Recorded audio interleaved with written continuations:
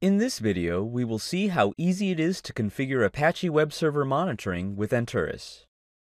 The new component wizard will guide us through this process. First, let's monitor the server itself and its resources. In order to do this, we need to install an Anturis agent, a small footprint background process that collects measurements and sends them to Anturis. On Linux, we may simply copy-paste this command and run it as root. Note that root privileges are only needed during installation, and a new user and group, Anturis, are created to run the agent. Going back to Anturis console, we now have the newly launched agent in the list.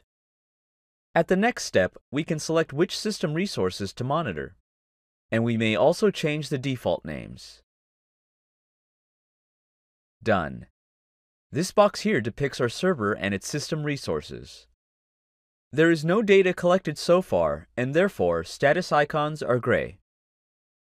Now let's configure Apache monitoring. First, we select the server with Anturis Agent, where Apache is located.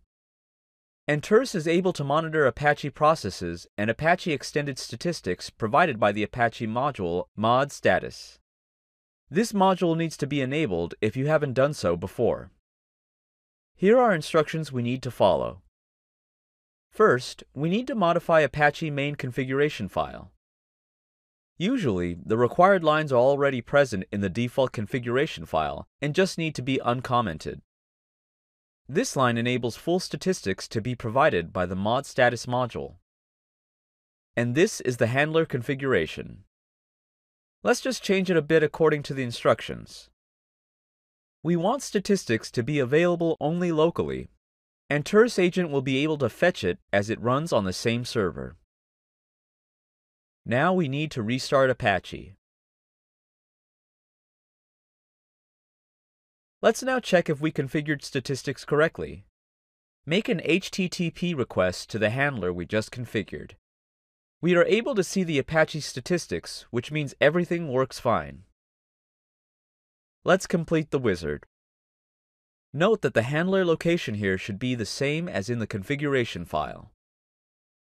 This is the list of monitors that will be created. They mainly reflect the statistics provided by the mod status module. Done. There is a new Apache component box on the dashboard. Let's now set dependency between components that represent Apache and the server where it is located. This will let Anturis send you more meaningful alerts as it will take dependencies into account. The only thing left is to set up external monitoring of the website running on the Apache server. We just need to type its URL in the wizard. Done. Let's link it back to the Apache component. That's it. After some time, the data is collected and we can see graphs with measurements. So in just a few minutes, we configured monitoring of Linux server resources, Apache Web Server performance metrics, and website availability. We can also add more different monitors if needed. In this video, we configured monitoring of an Apache web server. Now, if something goes wrong with the server or website, we'll be alerted by email, SMS, or with a voice call.